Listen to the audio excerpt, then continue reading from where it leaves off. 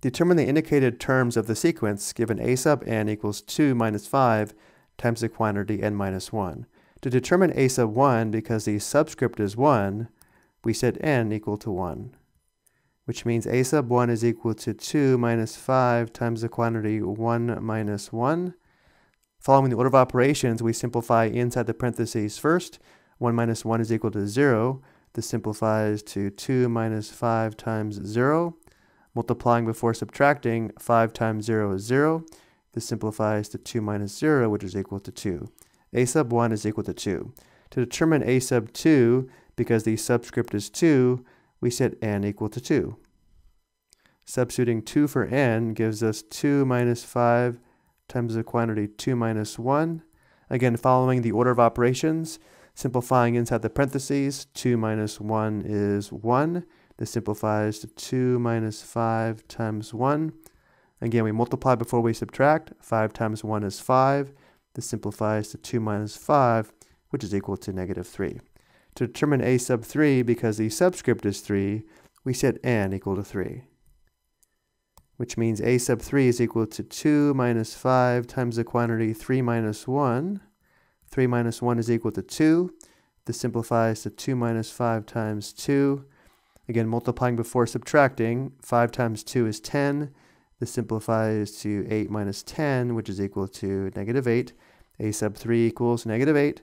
To determine a sub 4, because the subscript is 4, n is now 4, which means a sub 4 is equal to 2 minus 5 times the quantity 4 minus 1. 4 minus 1 is 3. This simplifies to 2 minus 5 times 3. 5 times 3 is 15.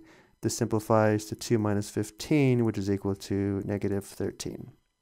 So if we were to list the terms in the sequence, we would have 2, comma, negative 3, comma, negative 8, comma, negative 13, comma, and so on.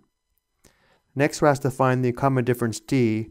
We should be able to recognize we do have an arithmetic sequence, and because the terms are decreasing by 5 each time, or because we're adding negative 5 each time, the common difference d is negative 5. We should also be able to recognize d from the formula a sub n, where for any arithmetic sequence, a sub n is equal to a sub 1 plus the quantity n minus 1 times d, where again d is the common difference.